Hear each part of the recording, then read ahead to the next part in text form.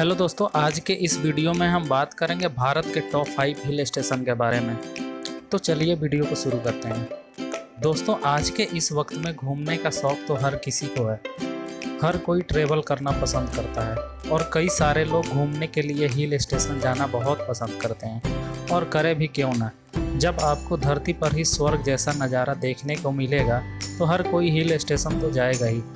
पर दोस्तों, क्या आपको पता है कि हमारे देश भारत में कई सारे हिल स्टेशन हैं, जो कि पूरे विश्व में प्रसिद्ध हैं, जहाँ दुनिया भर से लाखों लोग घूमने के लिए आया करते हैं। तो चलिए, आज हम आपको बताएँगे भारत के टॉप फाइव हिल स्टेशन के बारे में।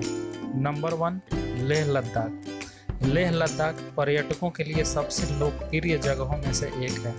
यहाँ सबसे ज़्यादा लोग बाइक राइडिंग के लिए आते हैं। यहाँ की मठ पूरी दुनिया भर में मशहूर है। यहाँ घूमने लायक जगह 12 किलोमीटर लंबी पैंगोंग झील है, जो कि तैंतालीस हज़ार मीटर की ऊंचाई पर स्थित है। यहाँ की सुंदरता इतनी लुभावनी है कि लोग हर मौसम में यहाँ खींचे चले आते हैं। Number two, Manali. Himachal Pradesh के कुल्लू ज़िले में स्थित है। मनाली में जाकर आप trekking, hiking, river rafting, paragliding कर सकते हैं। मनाली की देखने वाली जगह पाल साम्राज्य द्वारा निर्मित नागर किला, महाभारत के भीम की पत्नी हिडम्बा का मंदिर सोलंग नाला सोलंग घाटी तथा यहाँ की झीलें देखने लायक जगह है। Number three, Nainital.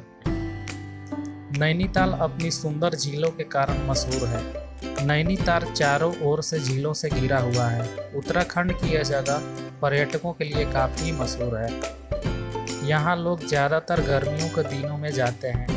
यहाँ गर्मियों में अक्सर ठंड का मौसम होता है और सर्दियों में यहाँ बर्फ़ भी गिरती है। Number four, Gulmarg. Jammu Kashmir में स्थित गुलमर्ग, जो कि समुद्री तल से सत्ताईस सत्तीस मीटर की ऊंचाई पर बसा हुआ है, यहाँ ठंड के मौसम में बहुत तादाद में लोग घूमने के लिए आते हैं। यहाँ घूमने लायक जगह खिलन मार्ग, अलपाथर झील निंगली नल्लाह घूमने लायक जगह है। Number five, Mount Abu. Mount Abu Rajasthan का एकमात्र हिल स्टेशन है। राजस्थान में जहाँ इतनी गर्मी पड़ती है, लेकिन माउंट आबू में तापमान कम रहता है। पहाड़ों से घिरी यह जगह सुंदर मंदिरों से भरा हुआ है। यह एक बहुत ही खूबसूरत हिल स्टेशन है। दोस्तों, आज के लिए बस इतना ही। मिलते हैं अगले वीडियो में। यह वीडियो कैसा लगा कमेंट करके आप हमें बताएँ। और अभी तक आपने इस चैनल को सब्सक्राइब नहीं किया है तो इस चैनल को सब्सक्राइब करें, लाइक करें और इस वीडियो को शेयर करें, क्योंकि आपके सपोर्ट की हमें बहुत ज़रूरत है। Thank you thank you very much.